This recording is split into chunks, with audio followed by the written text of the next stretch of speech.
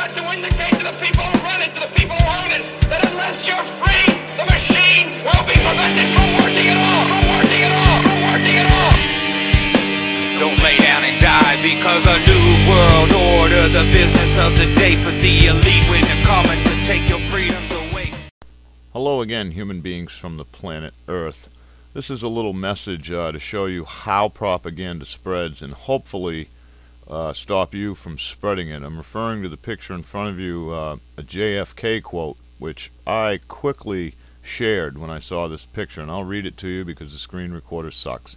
One day after I am long gone, you will remember me and, and say we should have stopped the nuclear program of Israel, abolished the Federal Reserve, and kicked all secret society, occultists, usurpers, and Zionists out of our wonderful country to, to keep it that way.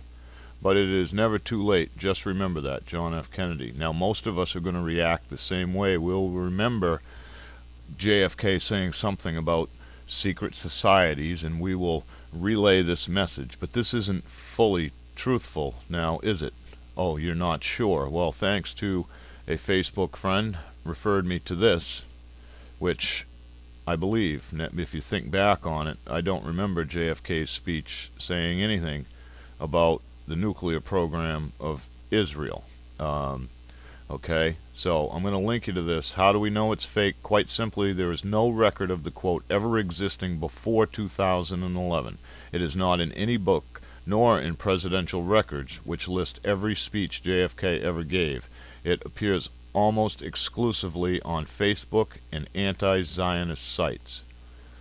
So, I hope that little bit of information uh, will show you how easily propaganda is spread, how quickly public opinion can be swayed.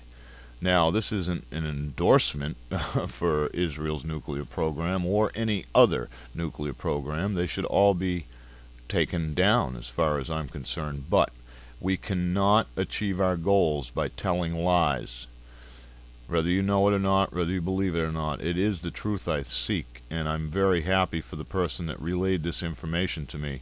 I'm going to show you on my Facebook that I have, uh, I also posted this in the comments of the picture, telling the people that the post is not valid. I also posted it because look, one, two, three, four people liked it. Now, four people have a little bit different opinion, but that opinion is formed out of a lie. I won't have it.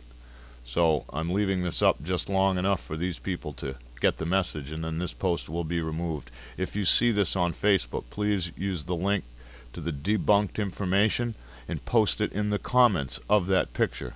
We can't fight this fight and win with lies. The truth will always prevail. And if you're of a sincere heart and you've accidentally used a lie to further your goals, then you're going to look like a real asshole. So anyway, much love, many thanks, stay safe, and research everything.